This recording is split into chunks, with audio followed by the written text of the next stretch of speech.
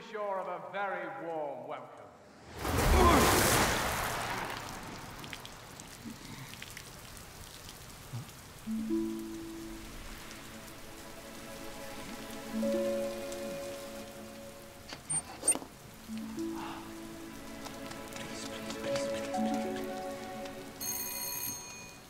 Hello? Hello. I'm looking for Montgomery Clyde. Well, that's my father. The, the explorer, Montgomery Clyde. That's right. Come on in out of the cold. I'll be right down. Oh. Oh, thank you. Thank you. Is Captain Clyde at home? I'm afraid not. You see, my father is dead. Oh. Oh, dear. What did you want from him? He once told my aunt that if ever we came to London, we'd be welcome. And I suppose I hoped he might give me a home.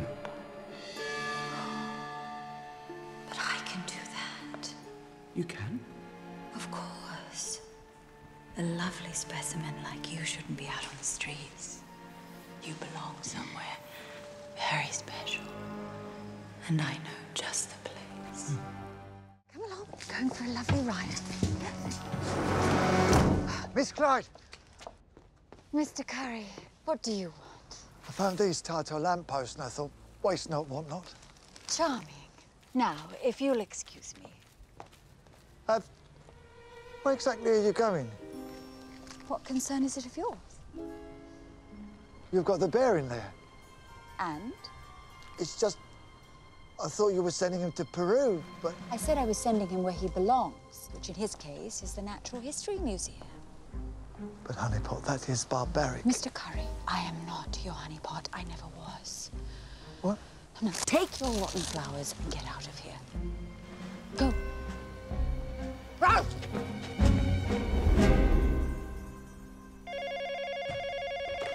Hello? Good evening. This is an anonymous phone call. Oh, hello, Mr. Curry. It's not Mr. Curry, it's Mr. Uh, Barry. I have some news concerning the bear.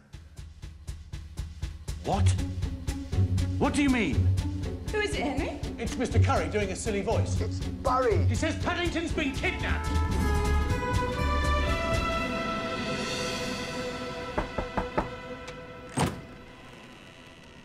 All right, love? Would you mind helping a frail old woman? I've missed my bus. Come on in, come on out the cold. Oh, thank you. You're so kind. Would you like a wee nip of antifreeze for the old pacemaker? No, no, no, no, not while I'm on duty. Oh, too strong for you, huh? Oh, fighting so. Okay, Well, I'll have one.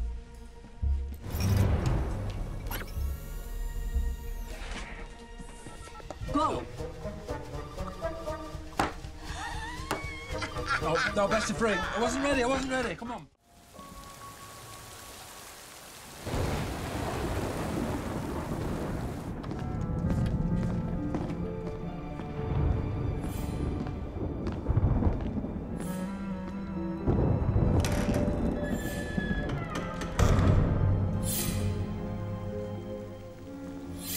Good evening, Grant. Madam Director. Another delivery from the docks. Bring it through.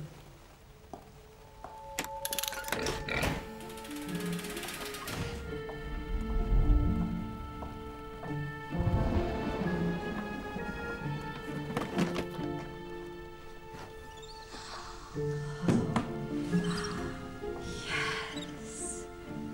You are going to make a fantastic addition to the. Aren't you worried people are going to ask questions? Not at all. As far as the tree huggers who run this place are concerned, I'd never dream of stuffing a poor, defenseless animal. However, it's not enough for me just to look after this dusty old collection. I need to add the odd choice specimen of my own. There was some weird sort of animal at the dock today. Oh, yes? Yeah. I was doing my rounds as usual when I spotted something sticky on the deck of the boat. I think they were paw prints. Whatever it was that made them and hidden himself away in the lifeboat. Must have been in there all the way from Peru. Seems to have lived on nothing but marmalade. Did you say marmalade? Hmm. What happened to him? He sneaked out in the mail van. Yes. I tracked him as far as Paddington Station. Good. But then he disappeared.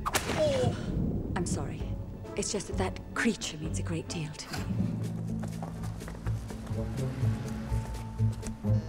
Hello? It's Judy Brown from the Portobello Express. Come in. So what's this for, darlings? School newspaper? Yes, we thought the agent of the Phoenix Buchanan would be really interesting. And you'd be right, but I've got two minutes, so we better make it snappy. And I've only given you that because you've brought breakfast. Nice buns, by the way. Here he comes. Hello, Joe! What a surprise! what are you doing here? Oh, you know, posting letters. How's Paddington? Oh, he's a tough wee bear. Yeah, he is. Well, send him my best. Yes, I will. Thank you, Joe. Bye. Bye-bye.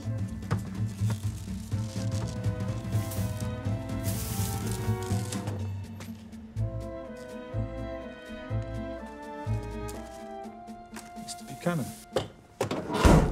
So when can we expect to see Mr. Buchanan back on stage? Phoenix? Oh, I wouldn't hold your breath, darling. no, no, no, don't get me wrong. He's a terrific actor. But there is a teensy little problem. Really? He won't work with other people. Thinks they dilute his talent. Miss Renshaw. Oh, I must scoot. We're having lunch with a big Broadway producer. Oh, where are you going? The Ritz, darling. Really nice buns.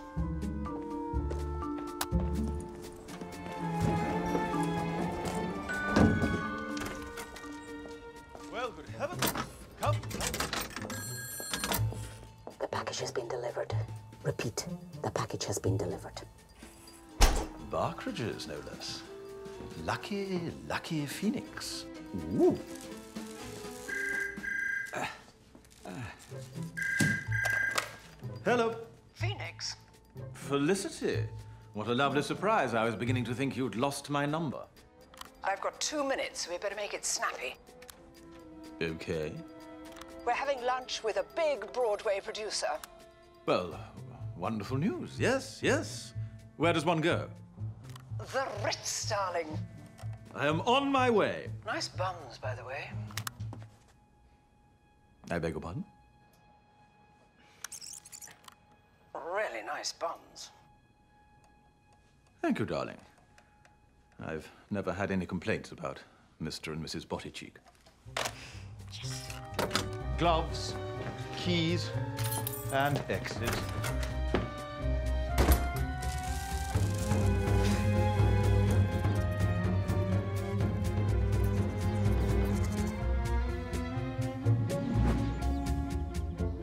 Mary? Where all your dreams come true.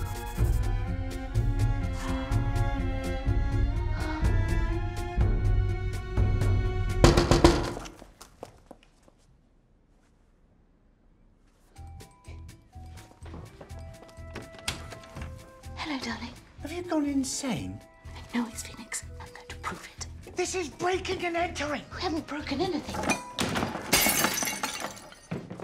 Why would Phoenix want to steal a pop-up book? He's a millionaire. That's where you're wrong. He owes money all over town. Look. So he's got a few bills. I mean, everyone... Good grief, the man spends a lot on face cream. He hasn't got a penny to his name. Now, come on. Let's find that book.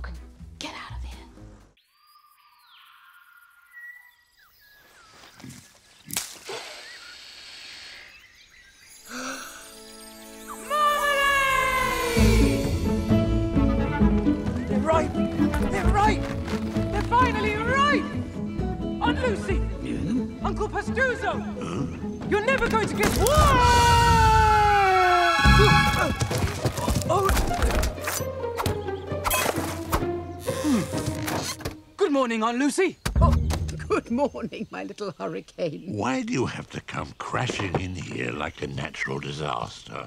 But, Uncle Pastuzo, they're ripe. It's marmalade day! Marmalade day! Oh, oh rather suits me. Hey! Marmalade day! Oh, do calm down, you two. There's no need to rush. Whoa!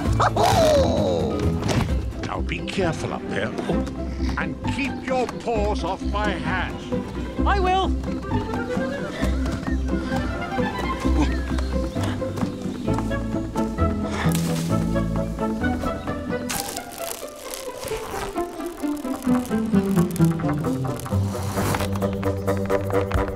Marmalade.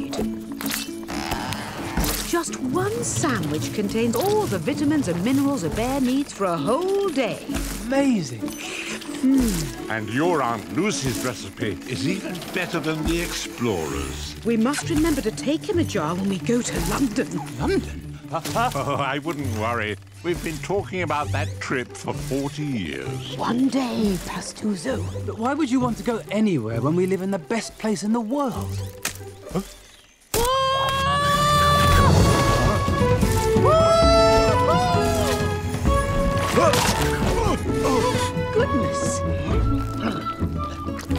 Thought I told you to be careful. Give me back my hat. Yes, Uncle, but... No buts. It's about time I got a bit of respect around here. Embarrassing. But tasty.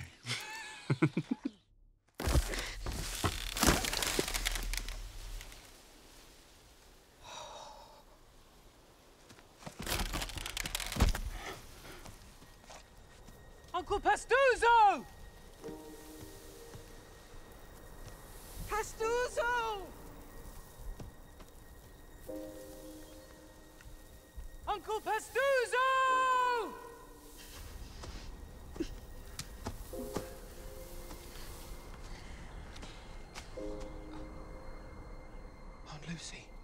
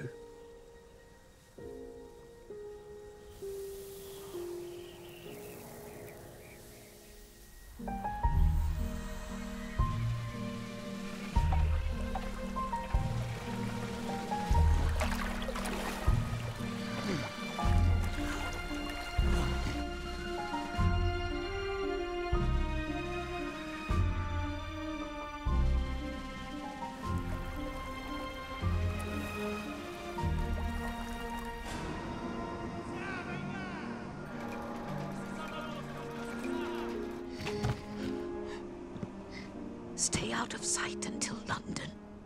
But aren't you coming? I am too old and too tired to go any further. Well, Then what will you do? Oh, don't you worry about me.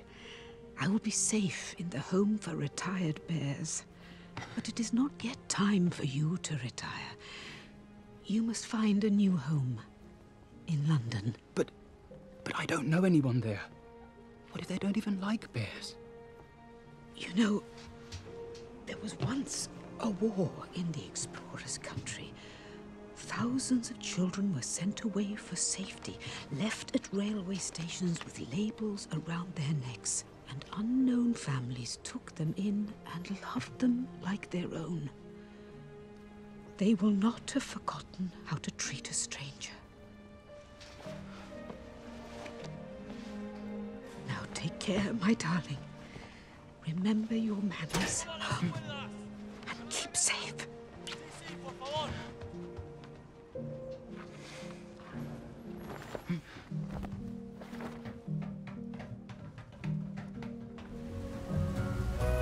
Our last rainy season.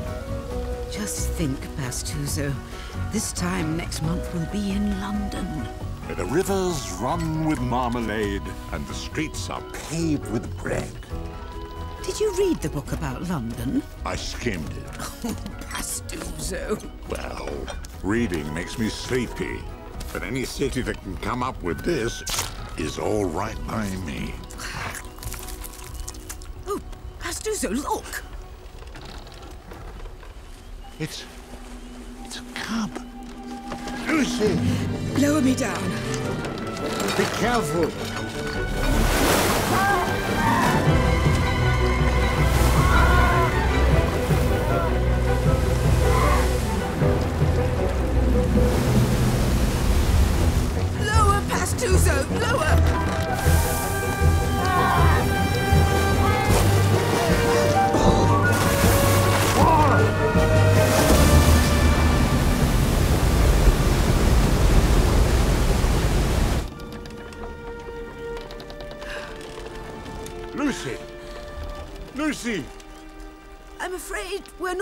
Going to London after all.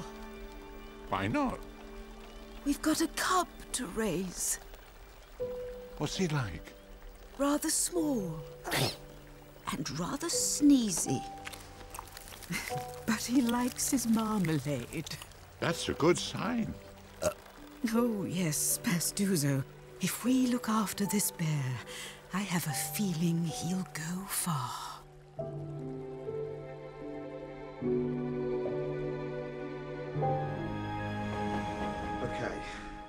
Protein. Per biscuit? Per biscuit. 0.5 grams. Yes. Carbohydrate Per biscuit? Per biscuit. Per biscuit is 7.7 grams. Yes. Sodium. Oh.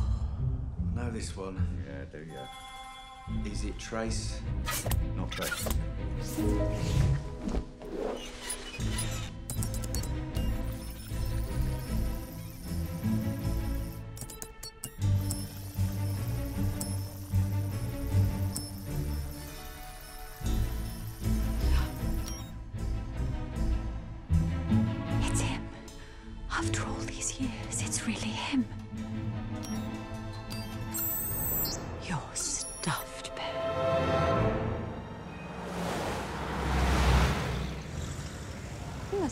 Lot of strange customers in here. Oh, you don't know the half of it, love. I've had bishops, magicians, bears, contortionists. Did you say bears? Yeah, one in here last night, actually. Oh, how fascinating. I don't suppose you remember where you took him. Afraid I can't tell you that, love. Why not? Well, it's against the cabbie's code, isn't it? The what? The cabbie's code. It's an oath of confidentiality we take. You know, like your doctors, your priests, your medieval knights. You do understand, don't you, love? Of course. Let me tell you about my code. When somebody doesn't give me what I want, I remove their body parts. I start with the nasal hair. Ow! And then I move on to something juicier. That's my code. And I always stick to it. Do you always stick to yours? It's not even really a code. No? No, it's more a set of guidelines and a binding ethos. Then tell me, where did you take the bear? Windsor Gardens. Thank you.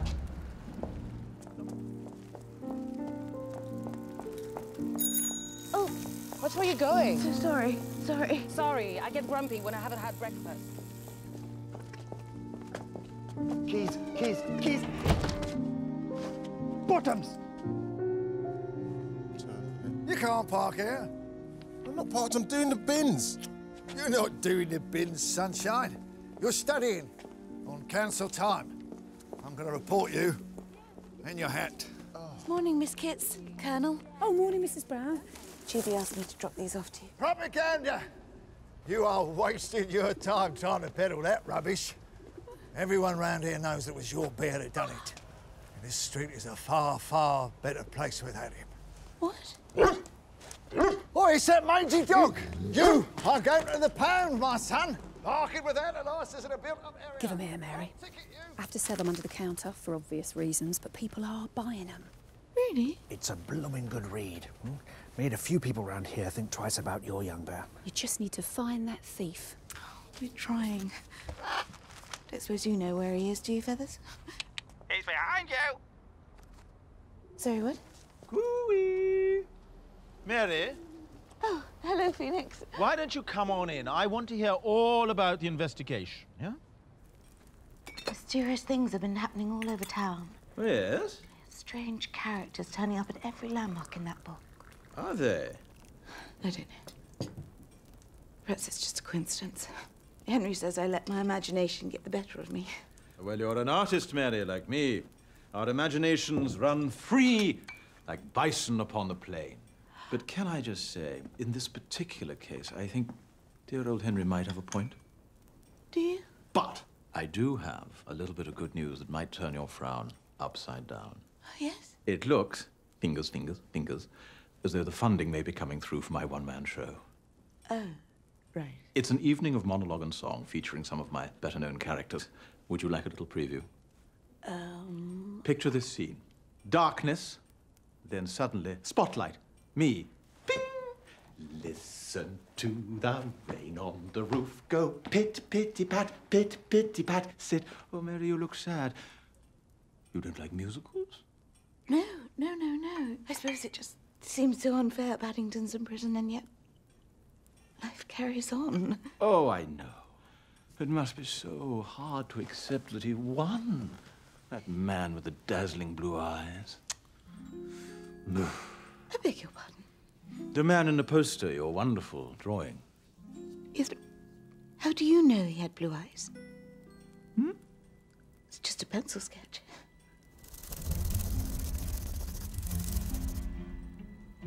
Ooh. Well, then I must have coloured him in. Phoenix Buchanan? He's a master of disguise. She's gone mad. Think about it, Henry. Someone out there knows about the Kozlov fortune, right? Alleged fortune. And Knuckles said we weren't looking for a criminal gang. Knuckles. Because there was no gang. It was one man. Feathers knew all along. Feathers? Who's Feathers? Hmm? The parrot at the newsstand? No.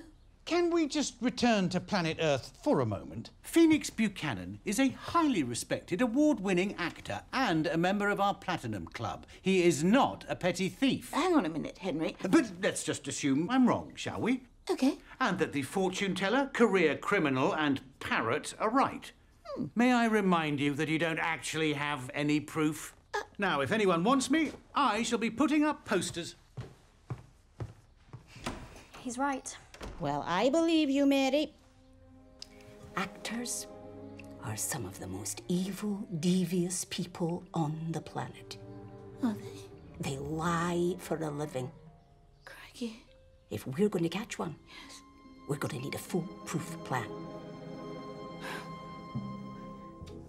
I knew there was something special about that pop-up book. Hmm? Well, why else would she have kept it in her strongbox?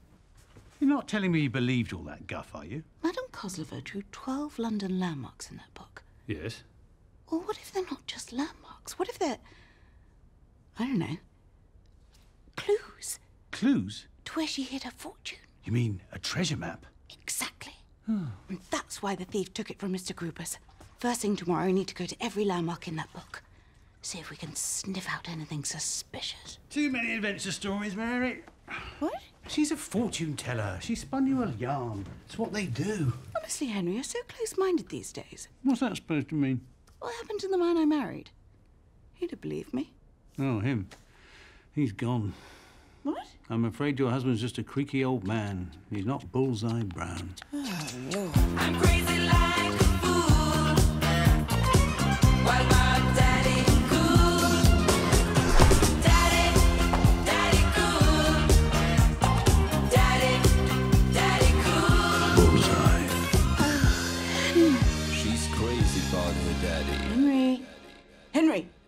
Anyway, the point is, we're not going to help Paddington by going on a wild goose chase. We're looking for this scruffy chancer, not some swashbuckling pirate hunting for buried treasure.